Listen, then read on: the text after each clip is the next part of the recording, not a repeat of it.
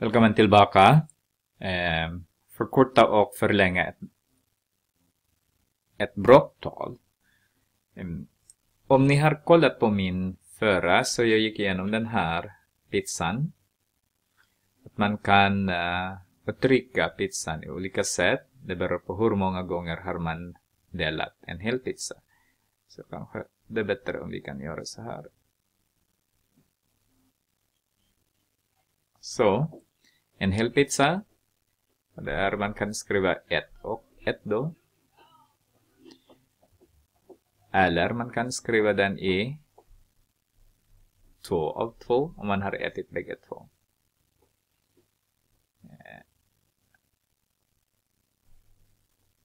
Eller man kan skriva den i åtta av åtta.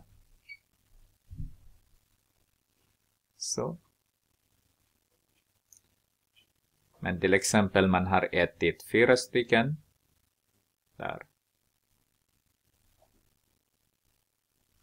Och det är ju fyra av åtta delar. Men som ni ser kanske, det är exakt samma som en halv.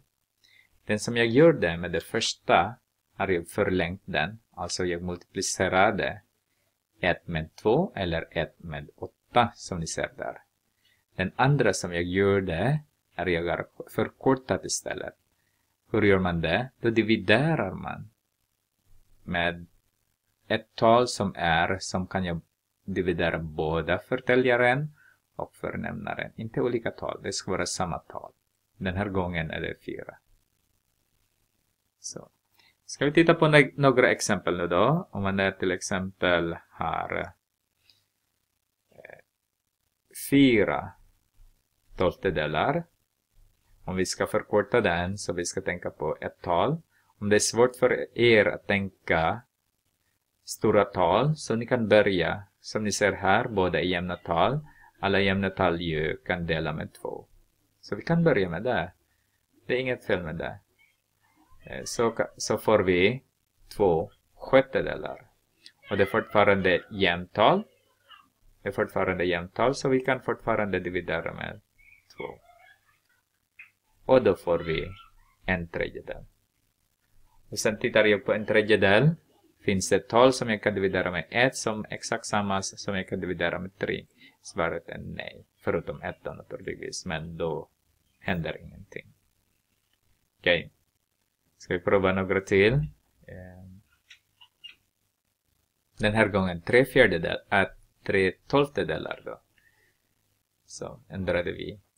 Denna gången så 12 ju kan man dividera med 3. Så den där kan jag använda 3 direkt då. Så.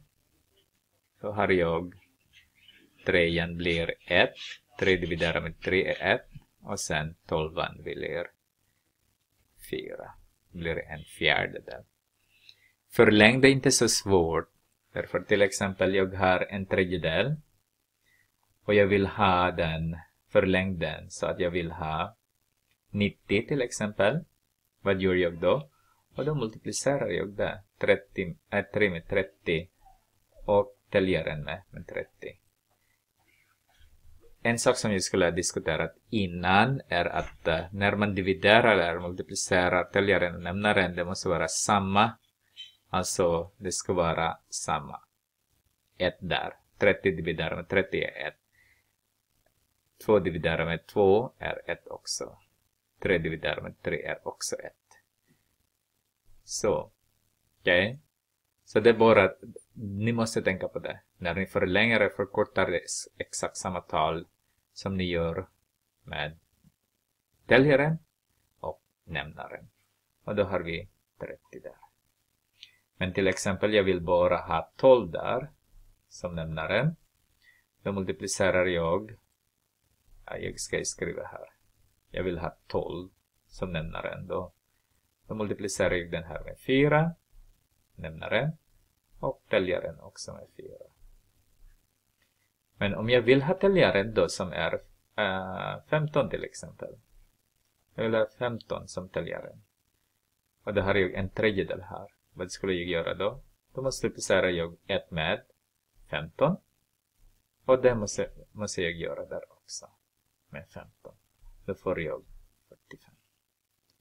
Okej, okay? så förkorta och förlänga är inte så svårt så länge ni förstår tanken att när man förkortar då dividerar man med samma tal, äh, nämnaren och täljaren. Eh, Förlänger så multiplicerar man täljaren och nämnaren med samma tal.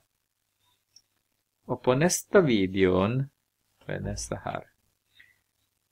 Vi skulle ju räkna med eh, bråktal med samma nämnare och olika nämnare då. Okay, addition och subtraktion betyder det av bråktal. Vi ses då.